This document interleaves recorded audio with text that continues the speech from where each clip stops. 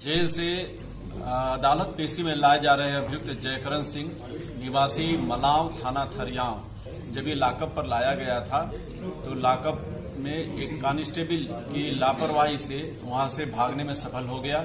इसके खिलाफ और इस कांस्टेबल को निलंबित भी किया गया। और इसके और कांस्टेबल के खिलाफ धारा 223, 224 आईपीसी का अभियोग पंजीकृत किया गया और प्रकरण की गंभीरता को देखते हुए अभियुक्त के खिलाफ अभियुक्त को पकड़ने वाले पुलिसकर्मियों को या जनता के लोगों को पच्चीस हज़ार रुपये के इनाम की घोषणा की गई थी।